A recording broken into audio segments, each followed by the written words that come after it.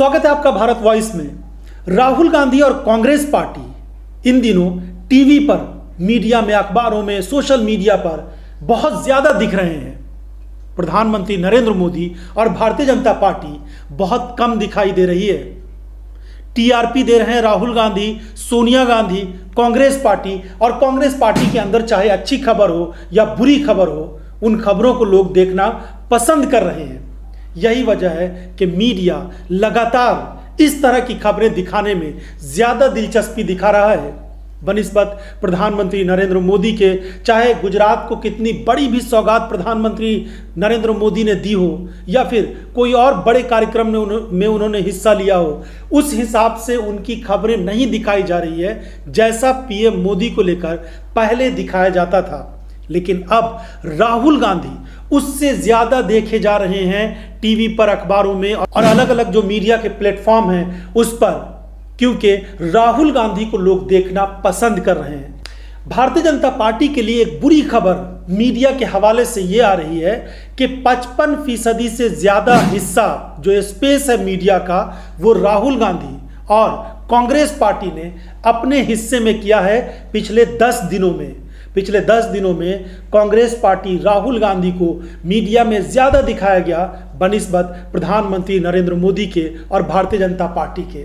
अच्छी या बुरी खबरें, इससे फ़र्क नहीं पड़ता है। लेकिन वो कांग्रेस पार्टी जो मीडिया से पूरी तरह एक तरह गायब थी राहुल गांधी को तो दिखाया ही नहीं जाता था टीवी चैनल्स पर और कांग्रेस पार्टी की बात ही लोग नहीं करते थे। बस मोदी मोदी की चर्चा होती थी। प्रधानमंत्री नरेंद्र मोदी किसी छोटे से कार्यक्रम में जाते थे तो बड़ी बड़ी खबरें बनती थी। वर्चुअली भी कहीं प्रधानमंत्री का कोई संबोधन होता था तो उसको पूरा लाइव दिखाया जाता था। और अगर प्रधानमंत्री कहीं जा रहे हैं खुद तो फिर वो तो बहुत बड़ी खबर बनती ही थी। शाम में उस पर डिबेट होती थी। लेकिन अब वो दौर लगता है कि बदल चुका है, क्योंकि अब इस जगह पे शाम के डिबेट में टीवी चैनल्स के बड़े बड़े चैनल्स के डिबेट में अब प्रधानमंत्री नरेंद्र मोदी की जगह राहुल गांधी पर चर्चा हो रही है, बात हो रही है। अब सोचिए, वो गोदी मीडिया जो हर समय मोदी मोदी के गुण गाता था वो अब राहुल राहुल का गुण क्यों गा रहे हैं? राहुल गांधी बरसात में आ, लोगों को संबोधित करते नज़र आए।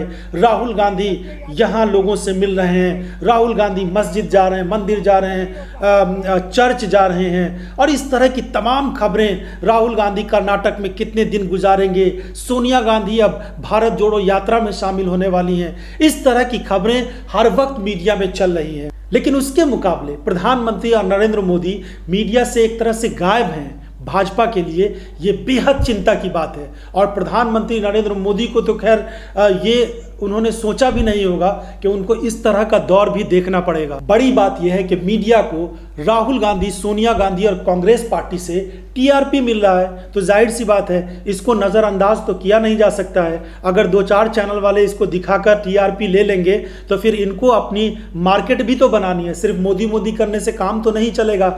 ज़ाहिर है आ, उनको रेवेन्यू का एक बड़ा हिस्सा वहाँ से मिल सकता है या फिर सरकार की वाहवाही करने से उनको बड़ा फ़ायदा तो होता ही है। लेकिन इसके बावजूद जनता और पब्लिक का जो सेंटिमेंट है, लोगों का जो जुड़ाव है, उसको भी देखना ज़रूरी होता है मीडिया में कि लोग क्या देखना पसंद कर रहे हैं। पिछले हफ़्ते दस दिनों में कांग्रेस पार्टी राहुल गांधी को जितना स्पेस मिला है मीडिया में, भारतीय जनता पार्टी और प्रधानमंत्री नरेंद्र मोदी बुरी तरीके से पिछड़ते हुए नज़र आए हैं। इस पूरे एपिसोड में कांग्रेस पार्टी ने भी बड़ी भूमिका निभाई है। कांग्रेस का मीडिया सेल बहुत ज़्यादा सक्रिय नज़र आ रहा है। हमने देखा था कि शुरुआती दिनों में कैसे कंटेनर से लेकर के राहुल गांधी के टी शर्ट का विवाद आया। और ये सब विवाद भारतीय जनता पार्टी इस मुद्दे को उठाती रही उसी पर ये सब उल्टा पड़ता गया। और ये खबरें मीडिया में बनती चली गई। अच्छी या बुरी खबरें कांग्रेस को फ़ायदा पहुंचाती रही। हालत ये हो गई कि भारतीय जनता पार्टी के अब आ, कोई भी नेता जब हमने देखा था कि स्मृति ईरानी विवेकानंद के स्मारक पर नहीं जाने का मुद्दा उठाया था या फिर संबित पात्रा जैसे नेताओं ने बहुत सारे इश्यूज़ को उठाए, लेकिन ये सब उल्टा पड़ गया। तो भाजपा के बड़े बड़े नेता अब किसी भी मुद्दे को उठाने से डरते हुए नज़र आ रहे हैं। इन्हीं हफ्तों में कांग्रेस पार्टी के सामने एक बहुत बड़ा संकट आया राजस्थान का। जो संकट अभी टला नहीं है, वो पूरी तरीके से खत्म नहीं हुआ है, लेकिन इस विवाद में भी कांग्रेस पार्टी ने को मीडिया में बनाए रखा है, जो कहीं ना कहीं कांग्रेस पार्टी के लिए फ़ायदेमंद ज़रूर साबित हो सकता है, क्योंकि वो चर्चा में है। लोगों के बीच कांग्रेस की अच्छाई या बुराई को लेकर बात हो रही है, ये कांग्रेस पार्टी के लिए बहुत अच्छी खबर हो सकती थी। कैसे हमने देखा कि सचिन पायलट राहुल गांधी की भारत जोड़ो यात्रा में शामिल हुए, उसके अगले दिन अशोक गहलोत वहाँ गए। फिर ये खबर आई कि अशोक गहलोत कांग्रेस के राष्ट्रीय अध्यक्ष के चुनाव में चुनाव लड़ेंगे, राष्ट्रीय अध्यक्ष का। उसके बाद फिर ये पूरा जो विवाद सामने आया, यहाँ से पर्यवेक्षक गए और उन्होंने वहाँ पर मीटिंग बुलाई, लेकिन उस मीटिंग में विधायक शामिल नहीं हुए। राजस्थान के विधायकों ने अलग से मीटिंग बुला ली। फिर अशोक गहलोत दिल्ली आए, उन्होंने सोनिया गांधी से माफ़ी मांगी। कहा गया कि ये विवाद यहीं पर खत्म हो गया और उसके बाद फिर मल्लिका अर्जुन खड़गे ने चुनाव लड़ने का ऐलान कर दिया और उन्होंने नॉमिनेशन फ़ाइल कर दिया। फिर सोनिया गांधी कर्नाटक पहुँच गए और अब कहा जा रहा है कि छह तारीख को सोनिया गांधी भारत जोड़ो यात्रा में शामिल होंगी और इसको लेकर इस तरह की खबरें बन रही है कि आने वाले हफ़्ते दस दिनों तक कांग्रेस पार्टी और राहुल गांधी मीडिया में छाए रहेंगे, ऐसी उम्मीद की जा रही है। तो इस तरीके से क्या पूरे महीने या फिर लगातार आने वाले दिनों में कांग्रेस पार्टी का ही जलवा मीडिया में रहेगा?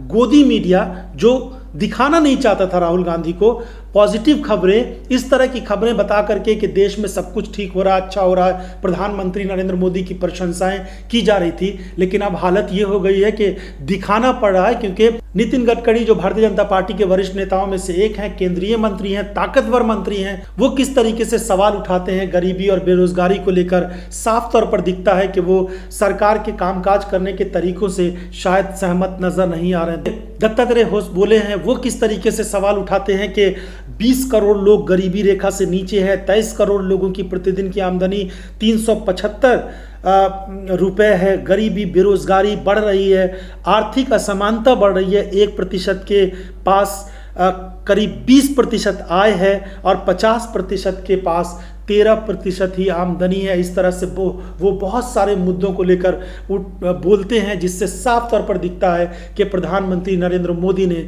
पिछले आठ सालों में क्या किया और आने वाले दो सालों में और क्या हो सकता है, इसकी उम्मीद बिल्कुल नहीं की जा सकती है कि हालात बिल्कुल बदल जाएँगे और डेढ़ साल ही बल्कि बचे हुए हैं, इसी में पूरे हालात बदल जाएँगे, ऐसा तो हो नहीं सकता है। तो ये मान के चलिए कि पिछले दस सालों में प्रधानमंत्री नरेंद्र मोदी के काम करने के तरीकों को लेकर खुद संघ की तरफ़ से सवाल उठ रहे हैं और भाजपा के नेताओं की तरफ़ से सवाल उठाए जा रहे हैं। लेकिन हम बात कर रहे हैं मीडिया में राहुल गांधी के स्पेस और प्रधानमंत्री नरेंद्र मोदी के कम होती जगह को लेकर, क्योंकि कांग्रेस पार्टी इन दिनों अपना पूरा जलवा दिखा रही है और एक अलग अंदाज में कांग्रेस पार्टी नज़र आ रही है। अब देखिए, प्रधानमंत्री नरेंद्र मोदी किस तरीके से मीडिया में पिछड़ते नज़र आ रहे हैं। एक बड़ा कार्यक्रम था गुजरात का। गुजरात में विधानसभा चुनाव होने वाले हैं और प्रधानमंत्री नरेंद्र मोदी लगातार गुजरात का दौरा कर रहे हैं। लेकिन इस हफ़्ते जो उनका ये दौरा हुआ है, वो बहुत ही खास था, क्योंकि जो गुजरात में छत्तीसवें राष्ट्रीय खेल है, उसका शुभारंभ हुआ। सूरत में करीब तीन किलोमीटर लंबा रोड शो किया प्रधानमंत्री ने। जनसभा को उन्होंने संबोधित किया। विकास कार्यों की गुजरात को सौगात दी। गरबा कार्यक्रम में शामिल हुए। गांधीनगर में रेलवे स्टेशन से वंदे भारत एक्सप्रेस को हरी झंडी दिखाई। और भी कई बड़े कार्यक्रम हुए। इसके अलावा वो राजस्थान पहुँचते हैं, जहाँ पर कानून का हवाला दे करके वो 10 बजे के बाद माइक से स्पीच नहीं देते हैं। ये सब कुछ होता रहा, लेकिन ये बहुत बड़ी खबर नहीं बन पाई। सोचिए, इतने बड़े बड़े कार्यक्रमों में प्रधानमंत्री ने हिस्सा लिया और फिर ये बड़ी खबर नहीं बन पाना, उस हिसाब से नहीं बन पाना, जैसा प्रधानमंत्री नरेंद्र मोदी को लेकर पहले दिखाया जाता था क्योंकि वो जगह अब कांग्रेस पार्टी ले रही है। तो ज़ाहिर सी बात है, उस 24 घंटे के ही स्पेस में तो खबरें दिखाई जाएँगी। उसमें राहुल गांधी, सोनिया गांधी और कांग्रेस पार्टी ज़्यादा हिस्सा ले रही है। तो प्रधानमंत्री नरेंद्र मोदी और भाजपा की खबरें कम होती जा रही हैं। लेकिन ऐसा नहीं है कि मीडिया ने अपना काम करना छोड़ दिया है, वो अलग अलग तरीके से अपने कार्यक्रम दिखा रहे हैं और अब जो ओपिनियन पोल्स आने वाले हैं अलग अलग राज्यों के जहाँ पर चुनाव होने वाले, खास करके गुजरात और हिमाचल प्रदेश में, वहाँ पर यह बताया जा रहा है कि प्रधानमंत्री नरेंद्र मोदी की छवि अभी भी बरकरार है, बल्कि वो कहीं ज़्यादा है और दूसरे जो नेता हैं वो कम होते जा रहे हैं। ये बताया जा रहा है कि उन राज्यों में जहाँ पर चुनाव होने वाले हैं, वहाँ पर जनता चाहती है कि फिर से भाजपा की सरकार है क्योंकि गुजरात में भी बीजेपी की सरकार है और हिमाचल में भी।